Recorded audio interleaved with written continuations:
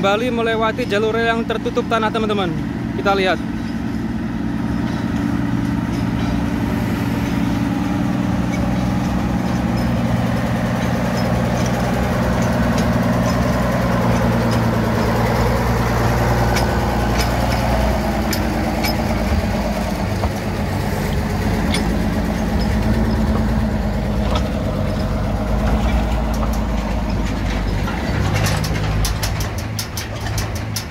Seperti ini tebalnya tanah yang menutupi rel teman-teman.